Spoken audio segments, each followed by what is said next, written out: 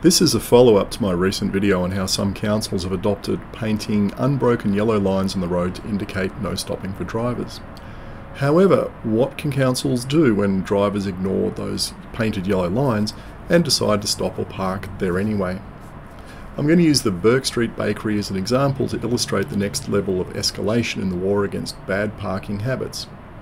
No, I'm not talking about the Bourke Street Bakery in Bourke Street. I'm talking about the offshoot bakery in Balmain. Every now and then I like to venture over there for a sausage roll because I am yet to find a better sausage roll in Sydney. If you want to suggest another bakery, post it in the comments and I might try it out one day. I visited the Balmain outlet a few times in 2020 and every time I was there feeding my face with a sausage roll or two, a driver rolled up and parked in the no stopping zone on the corner. See how my bike is leaning up against a no stopping sign?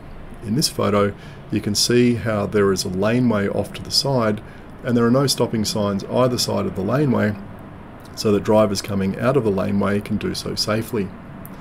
For some reason, the no stopping zone nearest the bakery was always occupied by a big black Mercedes when I was there.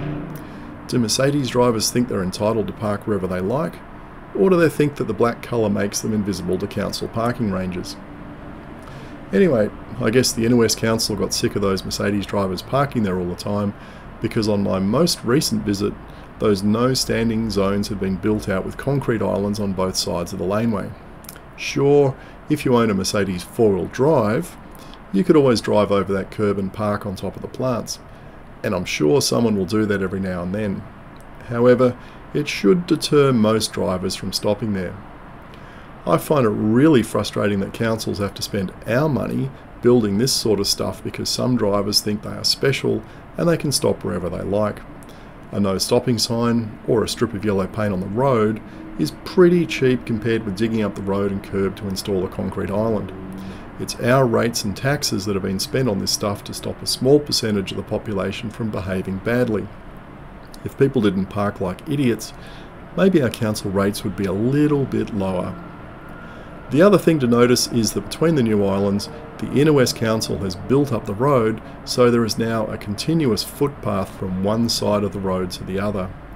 This is the sort of infrastructure that promotes walking around a shopping precinct, and it's conspicuously accent, uh, absent from the recently re re released PAMP, or Pedestrian Access Management Plan, that's been published by Canada Bay Council for public comment.